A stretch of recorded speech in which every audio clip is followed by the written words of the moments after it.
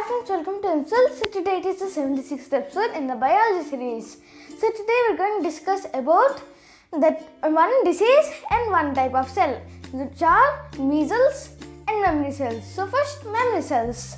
So after an infection like a battle between the bacteria or any other pathogen and the main attacker, I mean the defenders like our body, the immune system, on the after the battle is just over, then some cells will just kill themselves and some of them will turn into memory cells. Not all cells turn into memory cells. Only the adaptive kinds of cells turn, like the killer T cells, T cells, B cells, and plasma cells. Yes. So we already discussed about these types of cells in another video in immunity. Okay. So these memory cells, for example, there was another attack.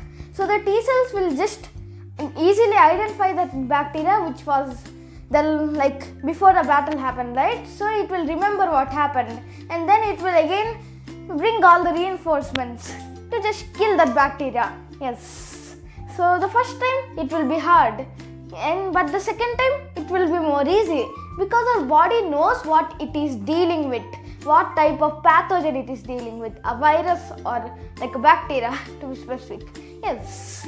So these memory cells are very important to us and also vaccines also create memory cells. What vaccines do is sometimes they'll take like so they will take a weakened version of the virus or pathogen and then just implement into our body a weaker version. That means it can't it has a little chance of killing us. Yes so it is a bit less harmful. So then our body can easily fight that pathogen and then we our body will learn how to defeat that pathogen in another attack. If it actually happens if it is not a proxy sent by the vaccine. Yes. So this is how vaccines and memory cells work.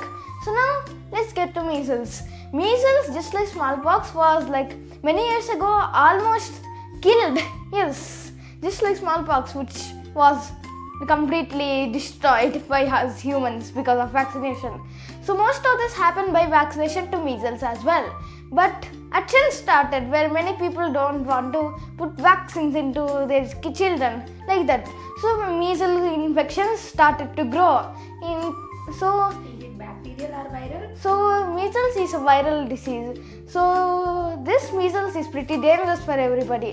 So in 2019 only 200,000 people were killed, one and a half times more than in 2016. Yes. So the rates of measles is also increasing. So how measles attacks is okay. So just like a normal virus, but it will also infect B cells and T cells. Not just any normal type of T cell and B cell, but especially the memory kind. That means if measles attack, our immunity will get amnesia. Yes, it will forget about the diseases which attacked our body before. Yes. So, for example, before you got measles, you just got a flu vaccine. You just think you are a baby, small baby. You just your parents just gave you the flu vaccine. Okay, but suddenly you got measles. How so bad? So next, you successfully, as a miracle, you're cured of that measles. But there's a side effect. You need to get your vaccine again. The vaccine efficacy is completely gone because the memory cells they were killed from that flu vaccine. Yes. So yeah, this is measles is pretty dangerous for us as the main cause of death from measles is not just measles but also the incoming diseases which come after the measles attack. Yes. So because like the immune is very weakened after the attack and also there are no memory cells left. That means very little are left. So yeah, this is for today about measles. Bye.